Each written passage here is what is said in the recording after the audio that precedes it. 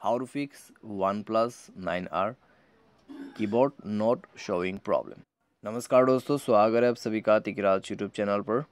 तो दोस्तों, आज के इस वीडियो पर मैं आपको बताऊँगा कैसे आप जो है अपने वन प्लस के डिवाइस में keyboard not showing problem solve कैसे कर सकते हैं। कई बार दोस्तों, यहाँ पे क्या होता है, जब हम मैसेज करने जाते हैं तो हमारा जो कीबोर्ड है दोस्तों, वो मैसेजिंग पे शो नहीं करते, ठीक है?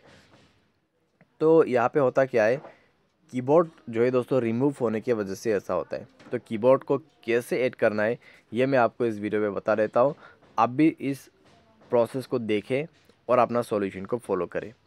वीडियो शुरू करने से पहले, अगर आपने चैनल को सब्सक्राइब नहीं किया है तो सब्सक्राइब करके बेल आइकन को क्लिक करें और अगर आप ऑनलाइन पैसा कमाना चाहते हैं तो वीडियो डिस्क्रिप्शन पर आपको लिंक मिल जाएगा।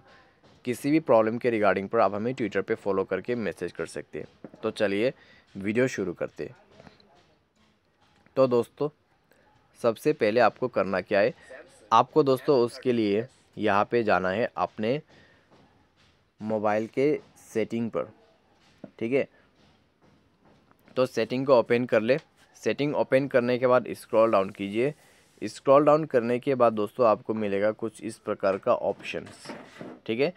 तो यहाँ पे जाइए system, okay not okay, system पर ही है, ठीक है? सिस्टम पर ही है। उसके बाद लैंग्वेज इन इनपुट और यहाँ पे आपको मिलेगा दोस्तों सबसे पहले वर्चुअल कीबोर्ड मैनेज कीबोर्ड पर जाके आपको यहाँ पे कीबोर्ड सेलेक्ट करना है कि आपको कौन सा कीबोर्ड चाहिए। अगर आपके पास ऑप्शन है तो ऑप्शन को सेलेक्ट कीजिए। अगर आपके पास कोई भी ऑप्शन नहीं है तो जीबोर्ड को ही इनेबल करके रख दीजिए। ठीक है? उसके बाद डिफ़ॉल्ट कीबोर्ड पे जाइए। कीबोर्ड को यहाँ पे सेलेक्ट कर लेना। सेलेक्ट करने के बाद आपका कीबोर्ड सेट हो जाएगा। तो इस तरीके से आप यहाँ पे सेट कर सकते हैं। और उसके बाद आपका प्रॉब्लम सॉल्व हो जाएगा। ठीक है? तो बस आपको ये तरीका फॉलो कर लेना है। अगर इससे प्रॉब्लम सॉल्व हो जाता है तो ठीक है, अगर नहीं होते तो जाइए प्ले स्टोर में। और जीबोर्ड को दोस्तों यहाँ पे आप अपडेट भी कर सकते हैं। ठीक है? जीबोर्ड को यहाँ पे अपडेट भी कर सकते हैं तो अपडेट वगैरह कर लेना, उससे काम बन जाते हैं तो ठीक है, अगर नहीं तो आपको स्क्रॉल डाउन करना है। एप्स एंड नोटिफिकेशन पे जाना है। उसके बाद सी ऑल एप्स पर जाना है और स्क्रॉल डाउन कर लेना है। जैसे ही यहाँ पे स्क्रॉल डाउन करोगे, आपको दोस्तों मिलेगा जी बोट ठीक है? तो यहाँ पे जी बोर्ड का ऑप्शन कहाँ पे है? ये रहा।